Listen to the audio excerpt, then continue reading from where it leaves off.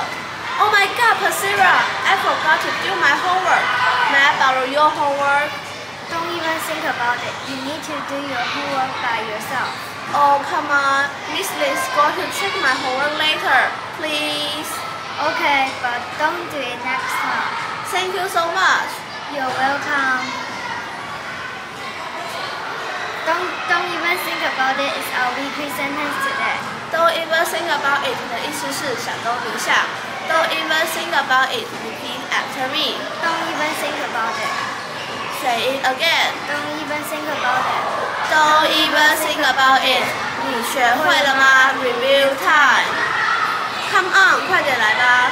Don't picking 不许偷看。Not anymore，再也不是了。你还记得吗？Weekly sentence. See you next time. Bye.